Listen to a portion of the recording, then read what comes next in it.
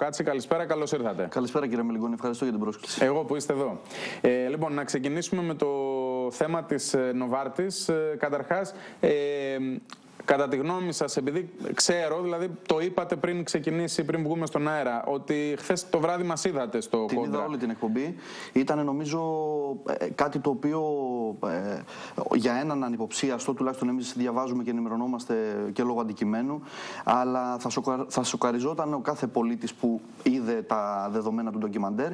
Και επίσης έγινε μια πάρα πολύ εμπεριστατωμένη κουβέντα από όλες τις σκοπιέ ε, και νομίζω ότι ο κόσμος έβγαλε συμπεράσματα. Κατάλαβε σίγουρα ότι δεν σκευωρία. Αφενός, νομίζω ότι μπορεί να το συνάγει κανένας ασφαλώς αυτό το συμπέρασμα. Πώς το έκανε αυτό, θα ήθελα να μου πείτε. Ε, κοιτάξτε, όταν ε, βλέπεις ότι υπάρχουν τρεις άνθρωποι οι οποίοι γνωρίζουν πρόσωπα, πράγματα, καταστάσεις της Νοβάρτη και των πρακτικών της, έχουν καταθέσει στην Αμερική στο FBI και, το FBI δεν μπορεί, και στην Αμερικανική δικαιοσύνη. Ναι. Έχουν χρηστεί ότι είναι ασφαλείς μάρτυρες, άρα έχουν προσκομίσει και στοιχεία. Και αφού έχουν προσκομίσει και στοιχεία, έχουν ελεγχθεί και ως προς την εγκυρότητα αυτών που προσκομίσανε. Άρα λοιπόν χρηστήκαν ως ε, προστατευόμενοι μάρτυρες. Αυτοί λοιπόν έχουν ε, φτιάξει, ε, έχουν καταγγείλει κάποια πράγματα των πρακτικών της Νοβάρτης και βλέπουμε παράλληλα ότι τα σχέδια που καταγγέλουν οι μάρτυρες Ναι. και οι πρακτικές που εφάρμοσε η Νοβάρτη στην Ελλάδα πήραν σάρκα και οστά. Και ως προς το κομμάτι το πολιτικό, δηλαδή να εισαχθούν τα νέα φάρμακα και με υψηλή τιμή, αυτό είναι το κρίσιμο ε, δίλημα που ήθελε τότε η Νοβάρτης να κάνει, αλλά και ως προς το κομμάτι του εκμαυλισμού των γιατρών για την υπερσυνταγογράφηση. Ε, και τώρα, δηλαδή, ε, δεν θα μπορούσε κανένας πολίτης σε οποιαδήποτε άλλη χώρα του κόσμου πλην της Ελλάδας να ακούει τον, ε, μεγάλο, το μεγάλο κεφάλι της Νοβάρτης στην Ελλάδα να λέει ότι μαθαίναμε από πριν τι γινόταν στο Υπουργείο Ναι. και λίγο πριν επηρεάζαμε και πιέζαμε καταστάσεις προκειμένου να ωφεληθεί η εταιρεία και να μην πέφταν, ας πούμε, και τα, και τα ντουβάρια. Ναι. Πραγματικά μόνο στην Ελλάδα δεν ανοίγει μύτη. Και εδώ πέρα, ε, ενώ όλος ο κόσμος, ακόμα και η ελβετική τηλεόραση, η δημόσια ελβετική τηλεόραση, ενώ η Νοβάρτη είναι ελβετική εταιρεία, Ναι. κάνει ένα τέτοιο ντοκιμαντέρ που θάβει πραγματικά κατακεραυνώνει τις πρακτικές εταιρείας. Έτσι. Μόνο στην Ελλάδα μιλάμε για σκευωρία, επειδή η Νέα Δημοκρατία και ένα κομμάτι του Κινάλ έχουν αποφασίσει ότι δεν πρέπει να διερευνηθεί και ότι αυτό είναι μια πολιτική ας πούμε, δίωξη του ΣΥΡΙΖΑ. Αν είναι δυνατόν. Ε, τώρα, βέβαια, μου ανοίγεται συνειρμικά μια ενδιαφέρουσα παρένθεση. Αυτή τη στιγμή έχετε και το κομμάτι της ψηφιακής πολιτικής. Αναφερθήκατε στη δημόσια τηλεόραση και φαντάζομαι αυτό είναι ένα μάθημα για όλους, γιατί και ο ΣΥΡΙΖΑ αντιμετώπισε δυσκολίες ως προς την διαχείριση της ΣΕΡΤ.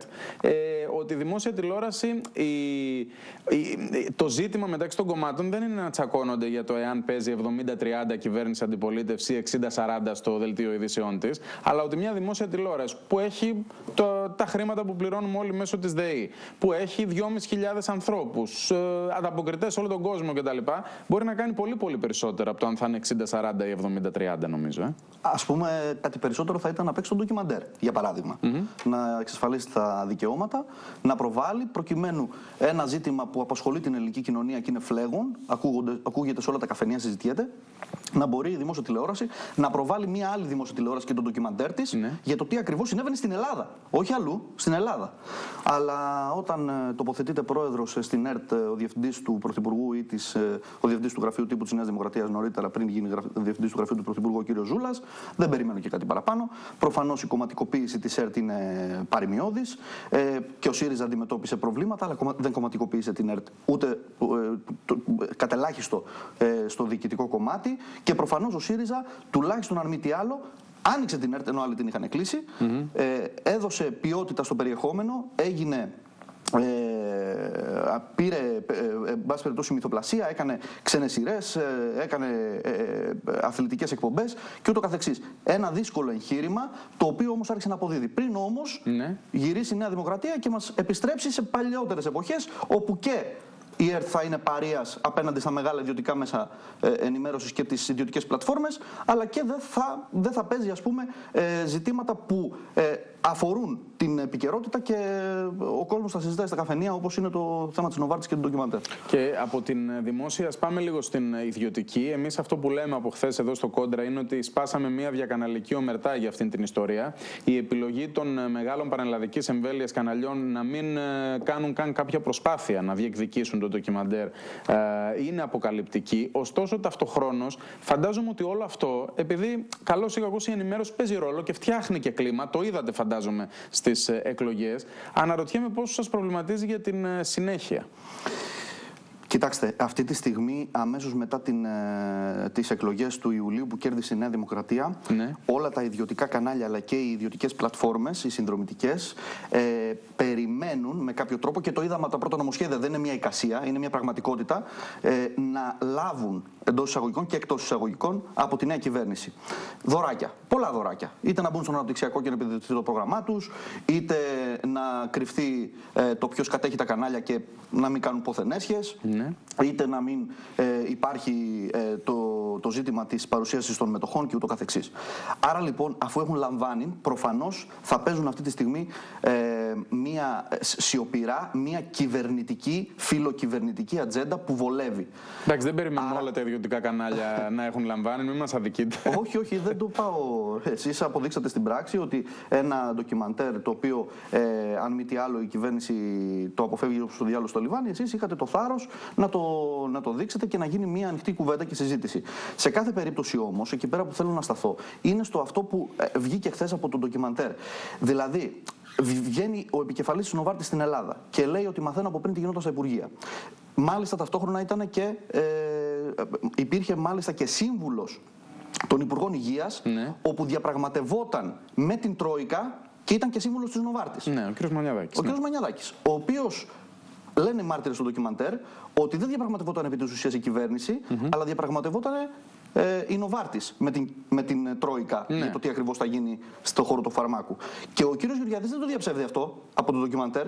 Δηλαδή, λέει ότι αν είναι έτσι, τότε και η Τρόικα είναι διεφθαρμένη. Δηλαδή, βρίσκει ασυλία εντός εισαγωγικών ή κρύβεται κάτω από την Τρόικα.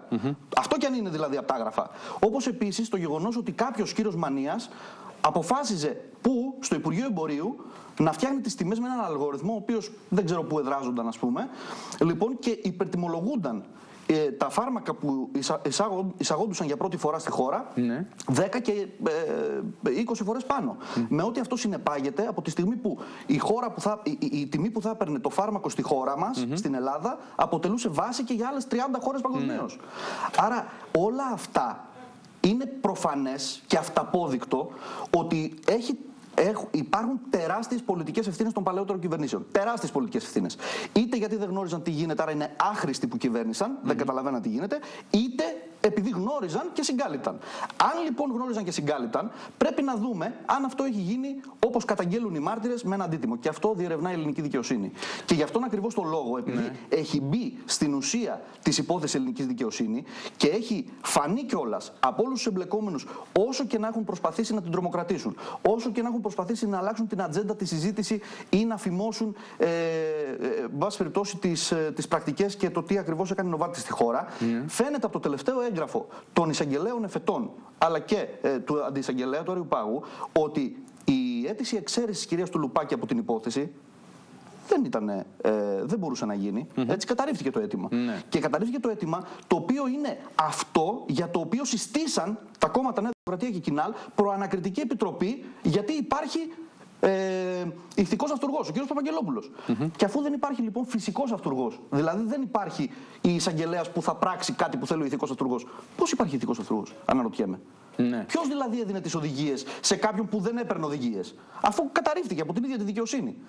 Δηλαδή είναι κανείς Ε, να η- απορεί. η, προανακριτική επιτροπή όμως συναισθήθη πριν το Συμβούλιο Εφετών να αποφανθεί ότι οι καταγγελίες επί των οποίων Και συναισθήθη αυτό είναι ύποπτο. είναι και αυτό είναι γενικό. ύποπτο κατά τη γνώμη μου πολιτικά. Έπρεπε να περιμένουν, αφού ξέρουν ότι ο κ. Λοβέρδος έχει κάνει αίτηση ε, εξαίρεσης της κυρίας του Λουπάκη, Ναι. να περιμένουν την απόφαση για το αν υπάρχει εξαίρεση ή όχι. Άρα λοιπόν, αν επιβεβαιωνόταν θα εξαιρου- εξαιρούνταν η κυρία του Λουπάκη από την υποθεση θα φαινόταν ότι κάποιος, ας πούμε, ήταν σε συμπεγνία από το χώρο της δικαιοσύνης προκειμένου να συστηθεί μια σκευωρία. Άντε να το δεχτούμε. Ναι. Άρα λοιπόν θα έχει και νόημα να συστηθεί μια προανακριτική επιτροπή, μια εξεταστική προανακριτική επιτροπή για να ε, αποκαλυφθούν και οι φυσικοί αυτούργοι. Εδώ όμως δεν έγινε έτσι. Έγινε ακριβώς το ανάποδο.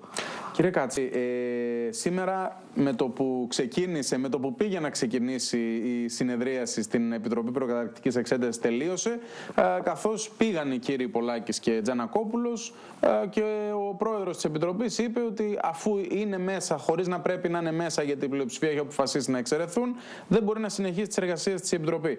Πού θα πάει αυτό το πράγμα, αλήθεια; Θα συνεχιστεί. Θα πηγαίνουν πάντα. Ναι. Ναι. Γιατί θεωρούμε παράνομη την απόφαση.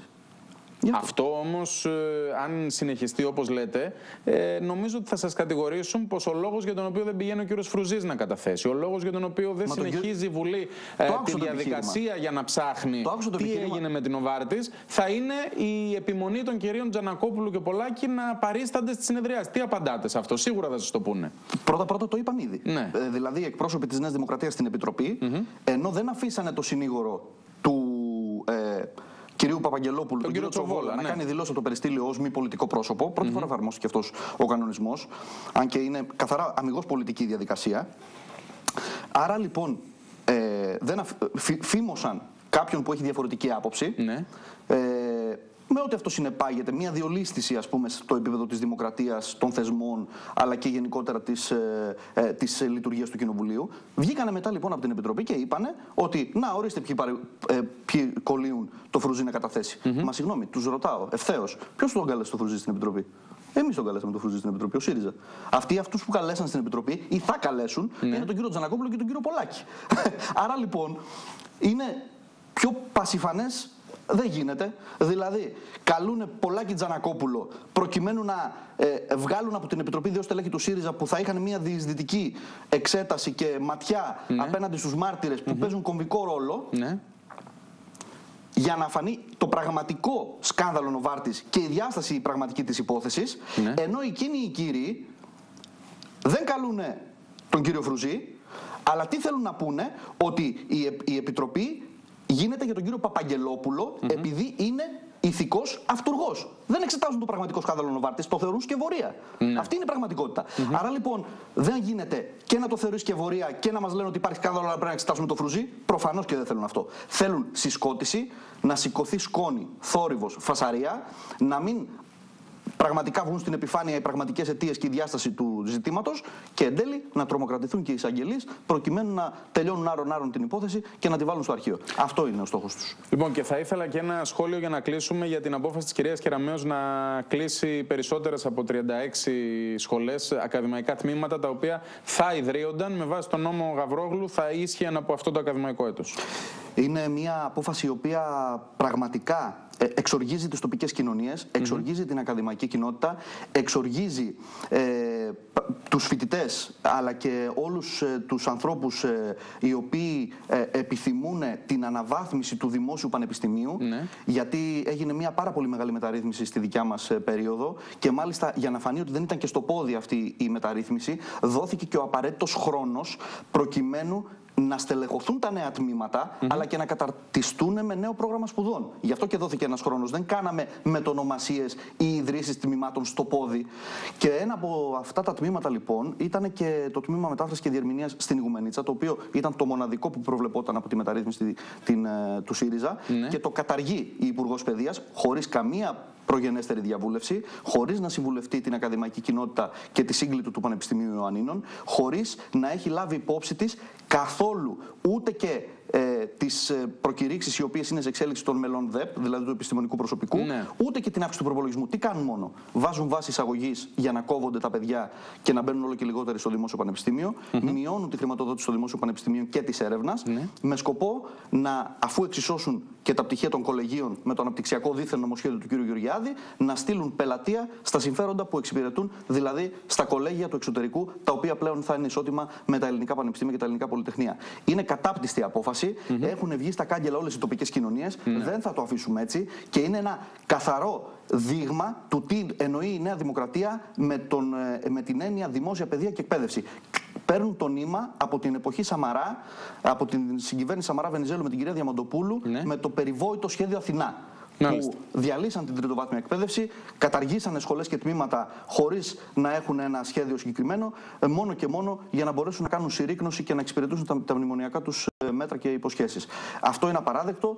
Ε, νομίζω ότι και ο τελευταίος Έλληνας πολίτης, όταν κάτι σε αφορά και κυρίως στην οικογένεια και στη νέα γενιά που θέλει να σπουδάσει, ε, και ο τελευταίος Έλληνας πολίτης καταλαβαίνει πόσο επικίνδυνη είναι αυτή η κυβέρνηση πλέον. Κύριε Κάτση, σας ευχαριστώ πολύ για τη συζήτηση που είχαμε. Καλό σας βράδυ. Καλό βράδυ. Κυρίες και κύριοι, τώρα θα επιστρέψουμε στο πρώτο θέμα.